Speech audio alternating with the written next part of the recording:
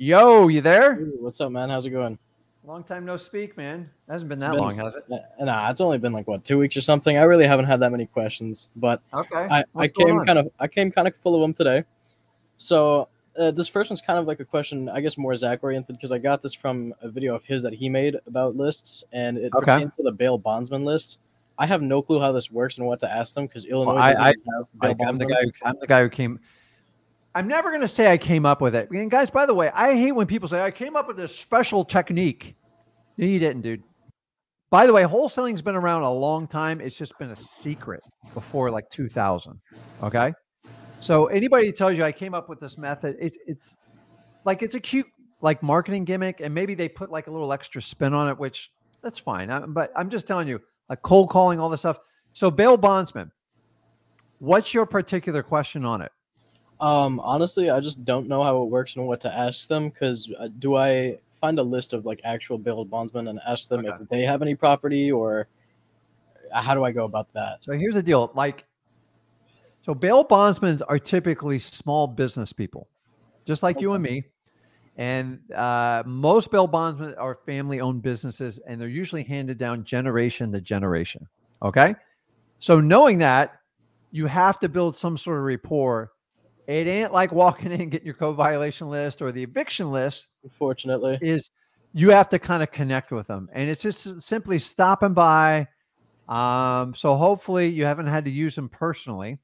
Um, so you guys so so you guys fully know a bail bondsman is like when when johnny gets arrested and he goes to jail depending on what state you're on now because some states you don't even have to post bail anymore. Um, typically a bail um, for a very minor infraction um, 500 to a, a couple thousand dollars okay?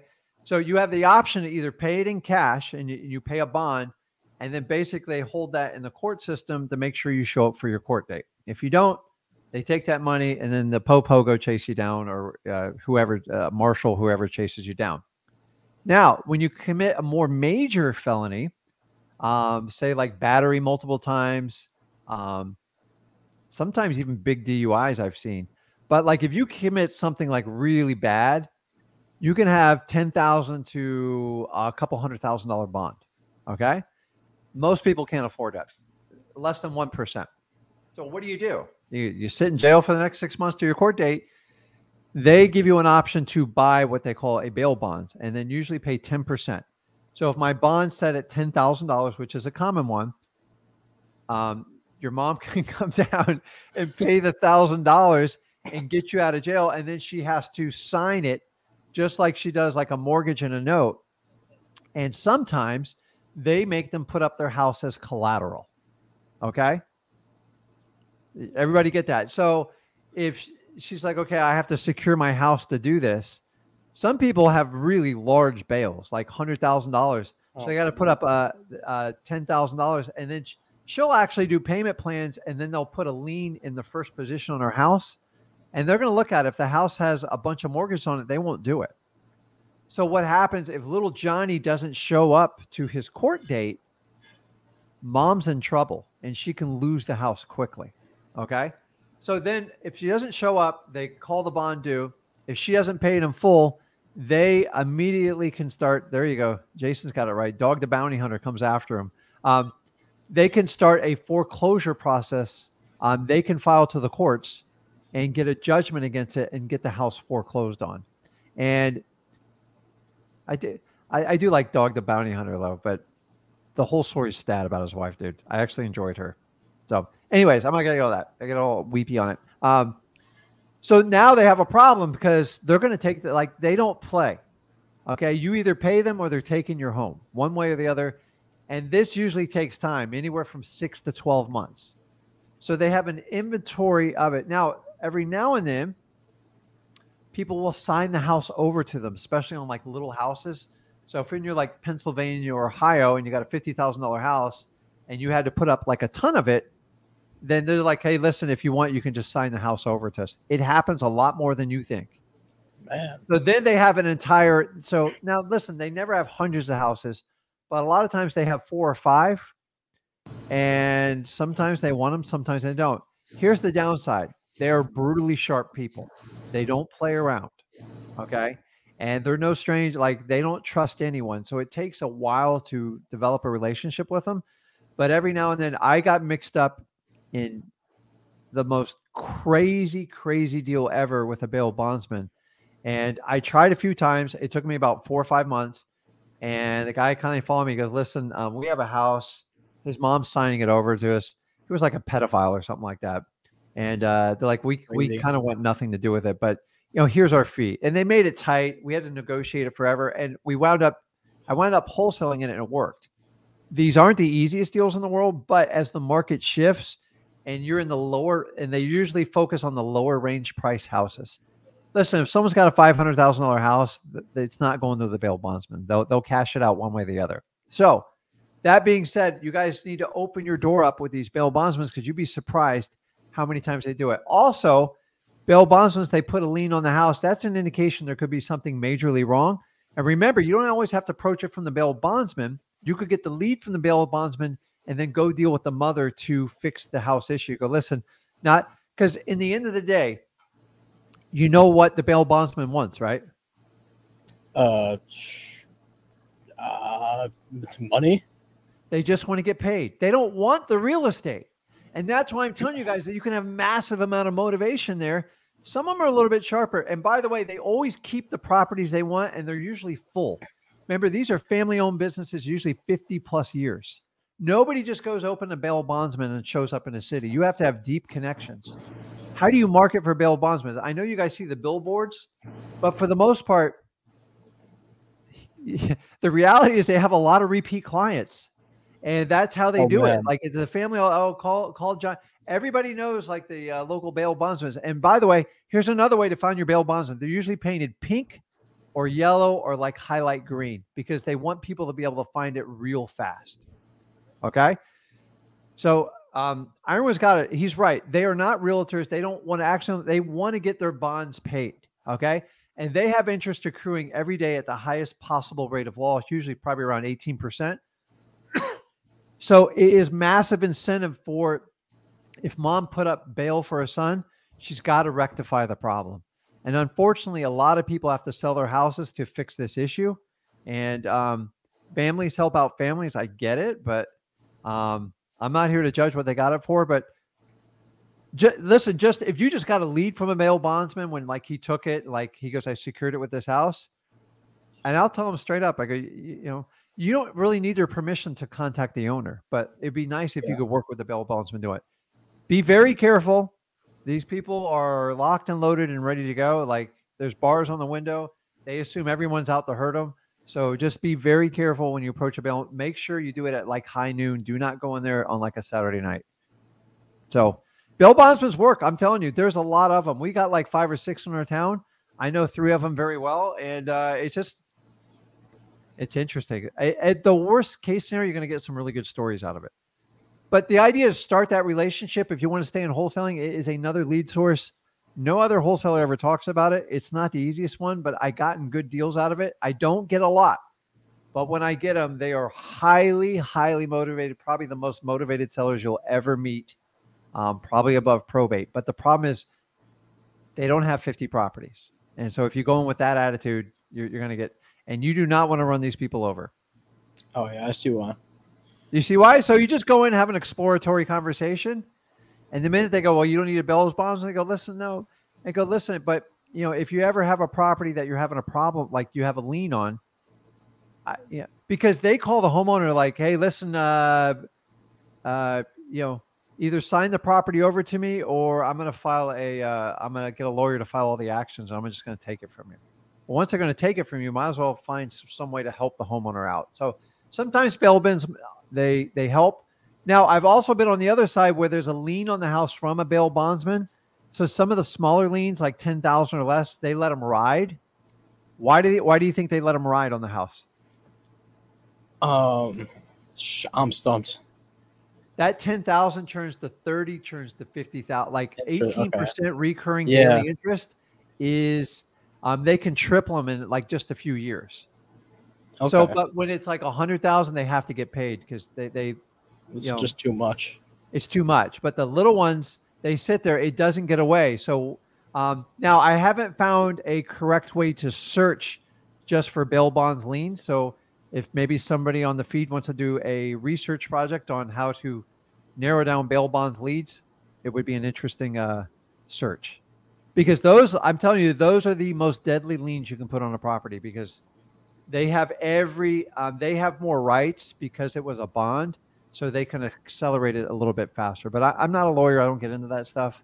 I'm just telling you guys, I struck up a conversation and I got a property. It took about four to five months.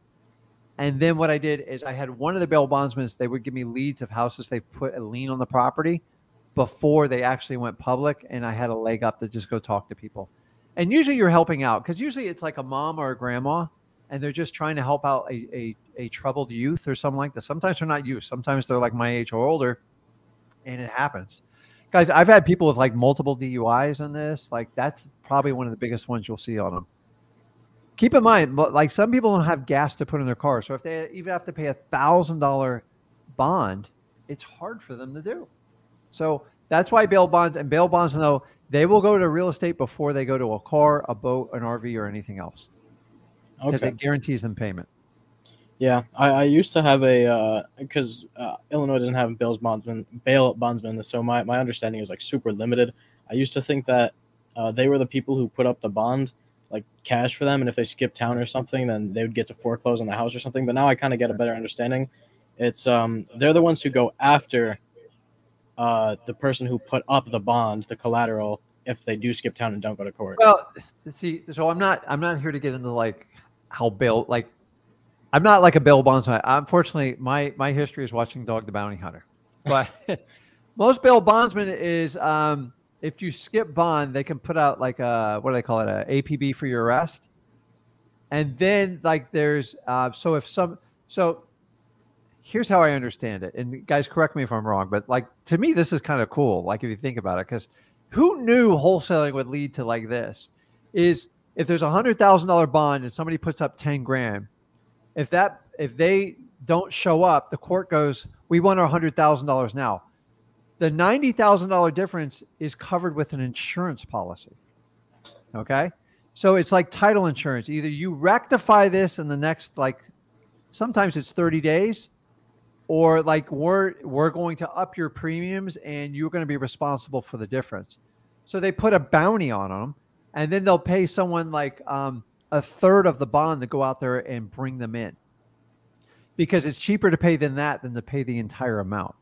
So the idea is back, you know, so back in the old days when they used in the Wild West, they put out a bounty for someone that skipped town, and that's how this whole I guess I don't know. I'm not okay. somebody in law enforcement can kind of tell me, but I, I find it like really fascinating. But I will tell you, anything on TV, it's hard to believe because the whole dog bounty hunter, there's no money in chasing criminals down like they do with that, with like mace guns and stuff like that. The money is in basically they're selling you an insurance policy and they're underwriting it.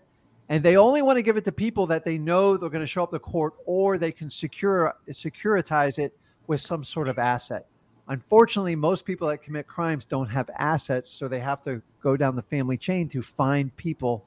Um, and that's how it works. So unfortunately, like the the responsible person in the family winds up being the victim in this whole thing because they do this over and over again when they get out behind bars. So I don't know how it's working in these states where they like you don't even have to put up bond anymore unless it's like a very serious crime. But um, guys, reach out to your bail bondsman. Nothing bad's going to happen.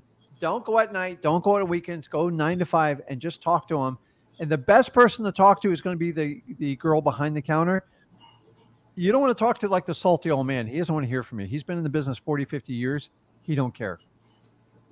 And usually it's like the wife or someone like that there, and uh, it's it's uh, I think it's like fascinating and interesting. But that you know that's why I love it. Real estate always has a tie to something because because real estate is the most secure thing you can uh, you can do other than like a bank account. But a bank account you can pull out anytime. So go connect with your bail bondsman. I'm telling you, um, it it might have a deal in it.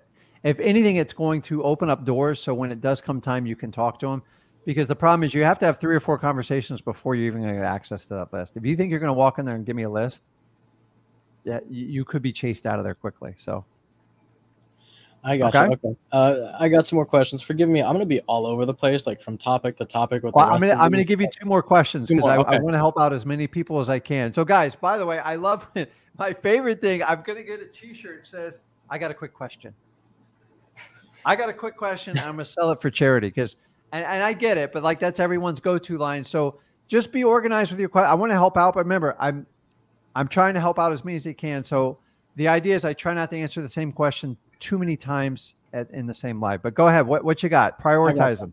Okay. Um, I'm gonna try to figure this out. Okay. So first, um, when signing contract with an LLC, do you need to have like a representative name? So if I were to give an example, like let's say you were trying to sign a contract on behalf of uh, Flip with Rick LLC, would you put uh, Rick Ginn representing uh, Flip with Rick LLC, or could you just put, um, as long as you have signing authority, Flip with Rick LLC? So, uh, so if I'm president of the LLC, um, signing on, uh, what is it? And by the way, this is important, guys. Um, um, uh, you can put on there um, uh, president of Flip with Rick. Um, what is it I put on that? Actually, unfortunately, I have people who prepare this for me, so I just sign it. So I haven't looked at it in a while.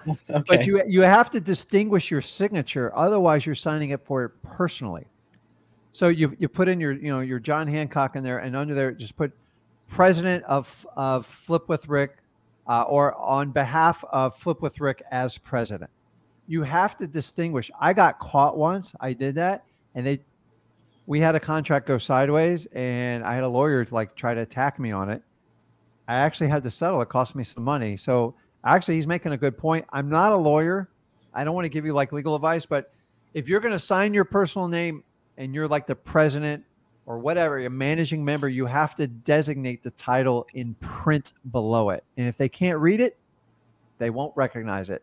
So on our contracts, when we do it, a lot of them we do typed. They put it under there and nobody can ever misinterpret it. The person that attacks that are the lawyers. So, number one, don't piss anyone off. Number two, do what you sign you're going to do. And number three, when you sign your name, if you're not signing it for it personally, be very clear and distinguish your title below it. Because then the lawyer's going to go, okay, I want to find out if he's president of Flip with Rick. And if he's not, I'm going to nail his butt. And then that's what they do. So a lot of you guys just sign haphazardly and you're depending on a title company or someone else to put it. Make sure, especially if you have an LLC or a corporation, when I sign my name, I don't want to be personally responsible for it because you want to shield at least go through it and it's really really important. So that's a good point. It makes sense. Okay, I got you. So no matter what, you want to have somebody's name on there to represent. Yeah, and just make sure because I mean, some of you guys are presidents, so you call your so you call yourself a president, uh, a secretary. What's the other one? Uh, vice president. You can call yourself a managing member. Get your title right because titles do count in this business when they do it. So, um, what else you got? Okay, and so I spoke to because I've been calling out probates lately. So I spoke to a title company attorney yesterday, and they told me that in order to close on the property mid probate while it's still open, it depends on whether it's summary or formal administration. What uh, what state you talking about? Florida. So you should you should know about that pretty well. Yeah, he's he's lying to you. I'm just going to tell you up front. Okay, so whether I've done hundreds of them whether it's so. By the way, uh, a summary is a piece of cake. Piece of cake. Do you understand what a, uh, a summary administration is? I read up a tiny bit on it. All I know okay. is that it's. Let me just do it. A summary administration is saying we we had to announce the world probate because uh, the person um, died, and then this is usually like husband wife. And what the lawyer is doing is okay, the property was homesteaded. As long as it qualifies, they resided full time in the property he's filing a motion to take that property out of probate. Once they file that motion, it's 30 to 45 days. Basically, if it was John and Sally Smith and Sally passed away, that motion takes Sally off the deed and now makes John the sole owner of it. If you can beat that to the punch, you will get an awesome wholesale deal. If you wait till probate's over, you're going to have to bid like everybody else. And that's the problem. Now, simply all you guys have to do, and remember, this varies state to state. So I'm not going to go into specifics. I'm not a lawyer. I don't claim to be a lawyer. I'm very, I, I battle lawyers all the time in, in the Southeast, particularly in Florida. you educate the homeowner. 99% of lawyers will say this you have to wait till the probate's over. Always. I was, listen, I'm probably not the only guy that this, but everybody else kept it a secret. I said, why do we have to wait? And I went and saw every lawyer in town. I even met with a judge. And you know what the judge told me? He goes, you don't have to wait. He goes, you can just file this motion and you can take it out. You can get it sold, the asset sold. The proceeds still have to go to the probate. The probate still takes time to get done, but you can get rid of it. And actually, we encourage people to do it real estate because most people don't want to pay the mortgages. They don't want to deal with hurricane season. They don't want to deal with mowing the lawn. They don't want to deal with the utilities. And for that reason, lawyers don't tell you. Why do lawyers not tell you? What do you think? Why? Uh, they want to make more money. There you go, guys. I'm just sorry that like they're they're in control. So the best way to beat this, you could do it in a formal too. There's there's no no formals just take longer for the probate to close. So a probate is a vehicle to wrap up all the assets that the deceased person passed away. Okay. Remember, a dead person cannot sign a deed or a title for obvious reasons, right? So the only way you can do is enter into a court order, and that's how the probate comes. A summary administration is just the uh, I'm just going to pull it out of probate because this house qualifies for X amount of exemption. Guys, you can check in your local states for it. I'm not a lawyer. I don't want to get into like teaching the legal of this. Yeah. And those deals usually go down in less than 90 days. They are my absolute favorite. Once you get it under contract and someone's designated as the personal representative, they have the legal authority to do whatever they, they can enter into an agreement. It doesn't mean they can sell it and liquidate, they can enter an agreement. So when they enter an agreement with you, now you have leverage in the con- in the uh, deal. And once you have leverage, a lawyer can't push you out of the way. Okay? So a lawyer wants to surround a probate and go everybody has to go through me. Why? Because that's the money ticket. More fees, I can tell them they need appraisals. That goes half of it in my pocket. Oh, we do a BPO, and then I can file more and more paperwork. I've seen probates as cheap as so in the state of Florida, on average, it costs about $863 to file a probate. I don't know if I'm up to date on that, but okay. And then you have to pay the attorney their time. So an express probate, honestly, should take it used to be 1500 I'd say $2,000. Dude, they file like one or two pieces of paperwork and that's it. They don't go to court. And then they're going to charge you know two or three hours of legal fees plus court fees. That's the true cost of it. Why do i see people with twelve and fourteen thousand dollars for a summary uh, a, a, summary of probate? Why? Because that's the, the lawyer. attorney can get away with it because we don't yeah. understand it. So i know a sensible listen if you pay more than five grand for like a really easy probate you're getting jacked it's just but like it's very confusing. Like I, I remember when I went through probate with like my family, like I didn't know. I'm like, is that the normal price? I have no idea. And so you can't run the attorney under the bus. So if you can enter an agreement with that homeowner, and now you've got leverage. Okay. Once you have leverage, you go homeowner, go, listen, and then you get this information from your title company, go, how can this personal representative get this property sold? He goes, Oh, they just need to file this motion with the judge to liquidate the asset. Once they file the motion within 30 or 45 days, it should be approved unless the judge has a question. Okay. I've only been questioned one time in nine years on probates. Okay. He says, Why are you buying it so cheap? It was a complete gut job. And he's like, Okay, that makes sense. The court's job is not to substantiate if you got a fair price. They just want to make sure everything's legal, the will is followed, and all the correct parties are in consent. Okay. That's it. And attorneys like they, they make it like it's like this magical. Like there are some complicated probates, but I had a probate that took um, four years. We sold the house in six months. It took her four years to get that final proceeds, but she was like very thankful. She goes, Rick, that would have cost me another hundred thousand dollars to keep that high end house. Yeah, that's insane. And so, like everybody hides behind these lawyers. I'm like, I'm just telling you, they're all like, there are some good lawyers out there. Just like there's there's good there's good teachers out there. there there's there's good mentors, but like for the most part, Wholesalers are so busy going so fast. Sometimes you slow down and you learn this.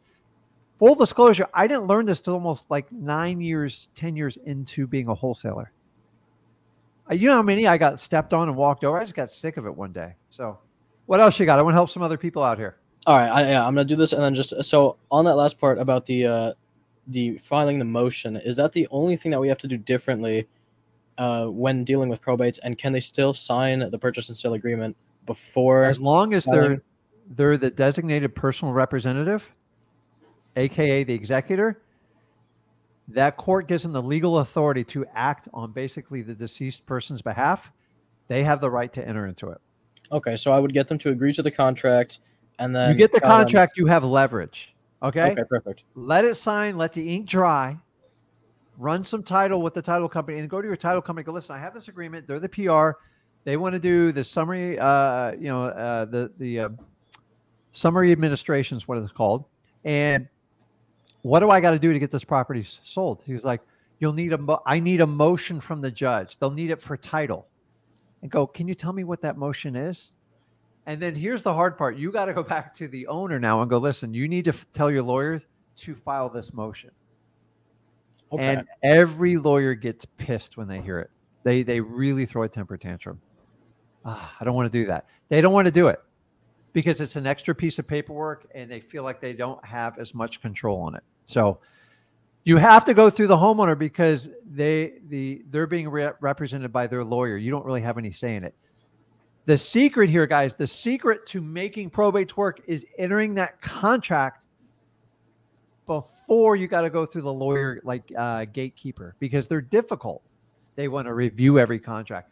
So if you get it signed before, you don't have to review the contract. You don't have to negotiate the price. You just have to get through it. I've had lawyers drag me on six months to a year.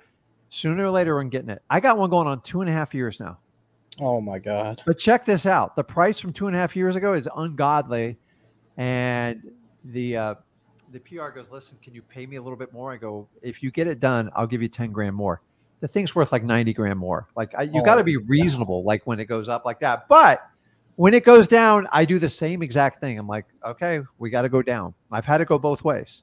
So here's a little secret too, guys.